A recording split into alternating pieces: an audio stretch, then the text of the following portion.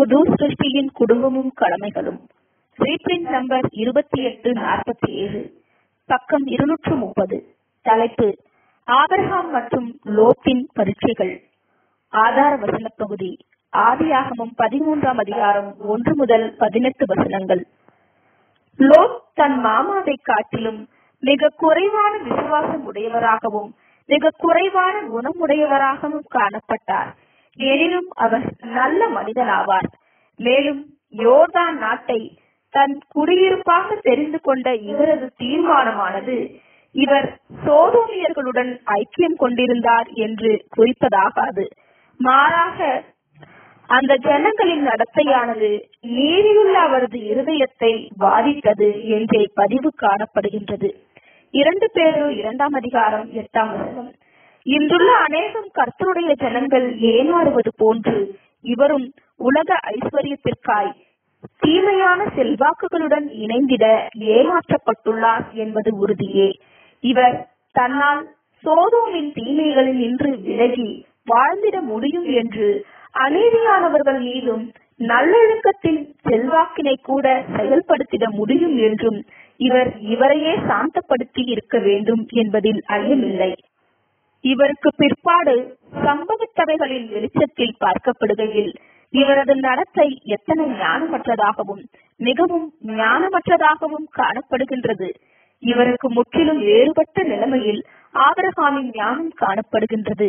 மேலும் பரம நகரத்தை நாடிக்கொண்டிருக்கும் மற்றும் உம்முடைய ராஜ்யம் வருவதாக என்று ஜெபம் பண்ணி கொண்டிருக்கும் அனைவருக்கும் இவ்விருவரின் அனுபவங்களும் விலையேற பெற்ற படிப்பினைகளை கொடுக்கின்றதாய் இருக்கின்றது. ஆபரகாமின் நடக்கையானது முதலாவது தேவனுடைய ராஜ்யத்தையும் அவருடைய நீதியையும் தேடுங்கள். அப்பொழுது இவைகள் எல்லாம் உங்களுக்கு கூட கொடுக்கப்படும். மற்ற ஆறாம் அதிகாரம் முப்பத்தி மூன்றாம் வசனம். எனும் நமது கர்த்தருடைய வார்த்தைகளுக்கு உதாரணமாய் இருக்கின்றது. லோத்தின் நடக்கையோ மனுஷன் உலகம் முழுவதையும் ஆதாயப்படுத்திக் கொண்டாலும் தன் ஜீவனை நஷ்டப்படுத்தினால் அவனுக்கு லாபம் என்ன? மார்க் எட்டாம் அதிகாரம் முப்பத்தி ஆறாம் வசனம். எனும் கர்த்தருடைய வார்த்தைகளுக்கு உதாரணமாய் இருக்கிறது. ஆஸ்தியை நோக்கி நாடின போது அது ஐஸ்வர்யங்களை கொணர்ந்தது. இவர் சோதோமில் ஆஸ்தியுள்ள மற்றும் செல்வாக்கு மிக்க மனிதனானார். ஆனால் இவரது ஆஸ்திக்கும் செல்வாக்கிற்கும் மிக அதிகமான விலையினை இவர் கொடுக்க வேண்டியிருந்தது. முதலாவதாக இவர் மன சமாதானத்தினை விலையாக கொடுத்து இழந்து போனார். ஏனெனில் இவரது நீதியுள்ள இருதயம் பாதிக்கப்பட்டது. இவருக்கு உண்மையான சந்தோஷம் ஏதுமில்லாதிருந்தது. இரண்டாவதாக இவரது பிள்ளைகளை இவர் விலையாக கொடுக்க வேண்டியிருந்தது.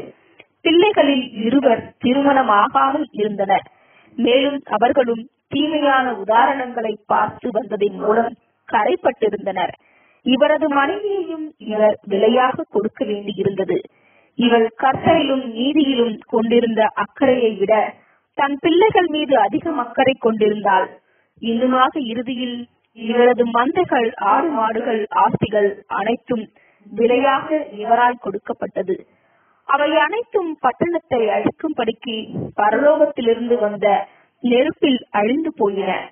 இதில் நம் அனைவருக்கும் அதிலும் விசேஷமாக நேரியை விரும்புகிறவர்களாகவும் பிள்ளைகளை பராமரிக்கும் பொறுப்பை பெற்றவர்களாகவும் இருப்பவர்களுக்கு மாபெரும் பாடங்கள் உள்ளன. இவர்கள் பூமிக்குரிய அனுகூலங்கள் சமுதாய காரியங்கள் அரசியல் காரியங்கள் மற்றும் பண காரியங்களை குறித்து குறைவாய் சிந்திக்கின்றவர்களாகவும் மேலும் உலகில் காணப்படும் தீமையிலின்றி விலகுவதன் வாயிலாக அடைய பெறும் ஒழுக்க ரீதியிலான ஆவிக்குரிய ரீதியிலான செல்வாக்குகள் மற்றும் அனுகூலங்கள் சாதகங்கள் குறித்து அதிகதிகமாய் சிந்திக்கிறவர்களாகவும் காணப்பட வேண்டும். கூடுமான மட்டும் பாவத்தின் கலங்கத்தினால் முடமாய் இருக்கிறது நீரியின் பாதையினின்று பிசகி போகாமல் சொத்தமாக்கும்படிக்கு உங்கள் பாதங்களுக்கு வழிகளை செவ்வைப்படுத்துங்கள். எபிரேயர் பனிரெண்டாம் அதிகாரம் பதிமூன்றாம் வசனம். Amém.